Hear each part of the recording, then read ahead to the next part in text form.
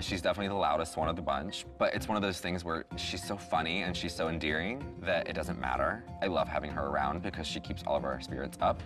Now, I ain't gonna say I'm the first one all the time. For the first time this entire It's the first time for everything. Well, the first time, but it matters on this day because this is the recording. Hello.